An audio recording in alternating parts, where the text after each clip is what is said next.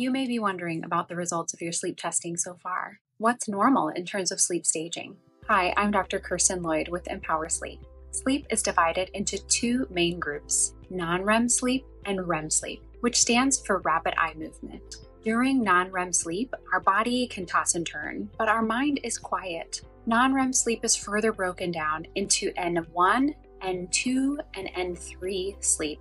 Stage N1 sleep is when you're entering or falling asleep. The heart rate slows, the muscles relax. You may even experience muscle twitches during this stage. In stage N2 sleep, the heart rate slows further. Breathing also slows and our body temperature drops. Stage N3 sleep is the deepest sleep state. The heart rate reduces to its lowest rate as well as breathing reduces to its lowest rate throughout the night. Most of our N3 sleep occurs in the first half of the night. In a healthy sleep pattern, the body goes through all three stages of non REM sleep and then enters REM sleep. During REM sleep, the body is immobilized but the mind is very active. The periods of REM sleep get longer throughout the night, such that most of your REM sleep occurs in the latter half of the night. REM sleep is also where we dream. In a healthy sleeper, it's important to know that for all people, you will experience arousals during sleep, whether you're a healthy sleeper or someone with a sleep disorder.